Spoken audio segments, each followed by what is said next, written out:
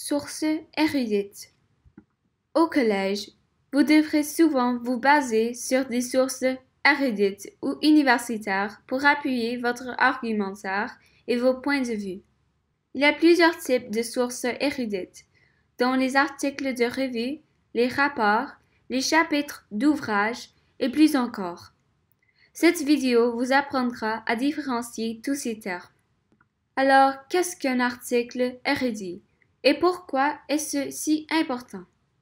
Un article érudit est un document rédigé par un universitaire pour la lecture d'autres experts et universitaires dans le but de communiquer de nouveaux arguments, de nouvelles conclusions et informations.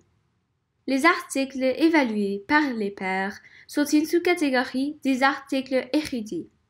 Et se différencient par leur processus d'évaluation. Avant qu'un article ne soit publié, plusieurs autres experts du domaine révisent les conclusions de l'article afin d'assurer la précision de la recherche et la validité des méthodes.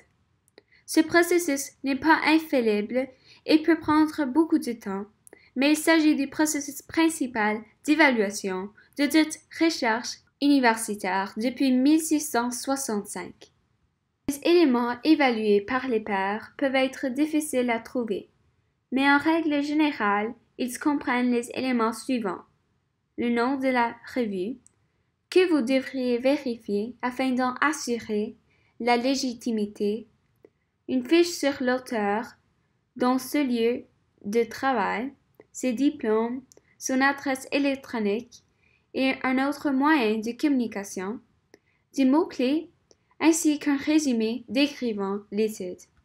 Si ces éléments ne sont pas exactement les mêmes à travers tous les domaines, l'article de revue a tout de même une structure identifiable, dont une introduction, une problématique de recherche, une méthodologie et l'épreuve des conclusions. Enfin, il y a aussi des références une bibliographie dressant la liste des ouvrages consultés par l'auteur avant la publication de ses propres conclusions. Les sources érudites comprennent également les livres et les chapitres de livres. Un livre érudit est aussi écrit par un expert d'un domaine et est généralement publié par un éditeur de bonne réputation comme un service de publication universitaire. Les livres érudits peuvent être rédigés par un ou plus d'un auteur. Parfois, plusieurs éditeurs combinent les ouvrages de plusieurs auteurs en une collection d'essais. Dans les livres érudits, vous retrouvez également un style de rédaction structuré, ainsi que des citations et des références. Travailler avec tous les différents types d'informations qui circulent peut être assez frustrant.